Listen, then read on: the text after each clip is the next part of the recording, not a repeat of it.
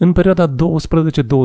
iunie, polițiștii Serviciului de Pregătire Profesională din cadrul Inspectoratului de Poliție Județean Sibiu instruiesc 49 de agenți de poliție încadrați recent în cadrul IPJ-ului de la Sibiu. După ce au parcurs stagiile inițiale de pregătire practică prin care și-au însușit cunoștințe și au dezvoltat abilități în domeniile autoapărării, tragerii cu armamentul din dotare și conducerii autovehiculelor cu regim de circulație prioritară, noi agenți de circulație parcurg acum un nou modul de instruire în domeniul tragerii cu armamentul din dotare. Activitățile sunt structurate atât pe sesiuni teoretice hibrid, fizic și online, cât și pe sesiuni practice. Mai multe ședințe de tragere au fost pregătite și executate în poligon, având ca obiective principale familiarizarea cu condițiile reale de tragere, formarea deprinderilor pentru efectuarea corectă a operațiunilor specifice, rezolvarea incidentelor de tragere, precum și asigurarea cunoașterii și respectării regulilor de siguranță. Prin ședințele de tragere executate s-a urmărit inițierea și obișnuirea personalului pentru tragerea cu muniție reală, efectuarea corecției tragerii și executarea focului din diferite poziții de tragere asupra unor ținte variate.